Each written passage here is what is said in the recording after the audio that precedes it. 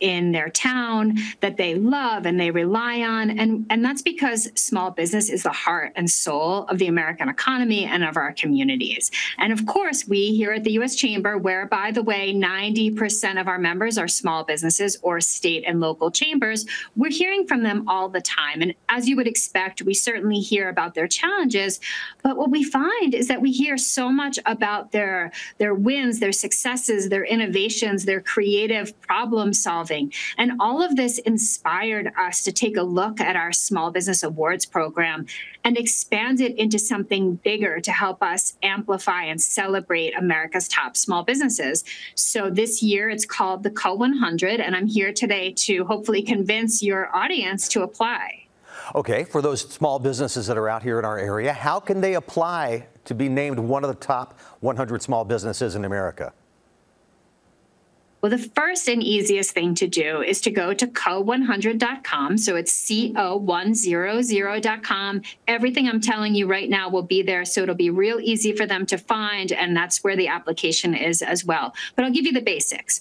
We have created a way for small businesses to enter our awards program and tell us what they excel at and what they'd like to be judged on. So we have 10 categories of excellence, and you can choose when you enter which up to five categories categories you'd like to be judged on. So you might be a small business that is excellent at customer service. You might have a really strong company culture, and that's where you'd like to be considered. Maybe you are a micro business and you only have one or two employees, and we have a special category for them as well. So they go to co100.com. The application takes about a half an hour to fill out. Now, we've extended the deadline to July 15th, but I would encourage your audience to go soon so they can have some time to think it through and really be thoughtful about their application.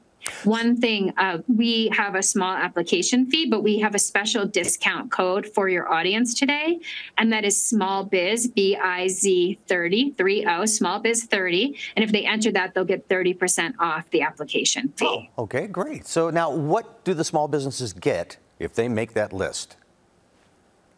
Well, the first thing to know is that you don't even need to make the list for this to be worth your while because our panel of judges, I think we have about 30, maybe even more now. The panel is made up of small business experts, influencers, and journalists, and they will be reading these applications. So by just entering, you are getting publicity and exposing your business to all of these esteemed people who will be reading the applications.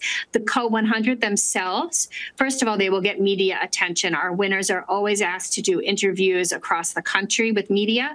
We will feature them in profiles on our U.S. Chamber sites. They will get a one year free membership to the U.S. Chamber of Commerce. The Co 100 will be invited to come to Washington, D.C. for a very special award ceremony and gala in October. Uh, we will have the gymnast, the Olympic gymnast Dominique Dawes, will be here with us having a special exclusive meeting with the Co 100. On that day, we will announce the winner. Our semifinalists, nine of them will receive $2,000, and our America's Top Small Business will receive $25,000. Wow, okay, now that is a lot, and that is actually worthwhile getting involved with this. Uh, Jeanette, do you have any tips to make uh, the small business application stand out ahead of others? Yes, yes.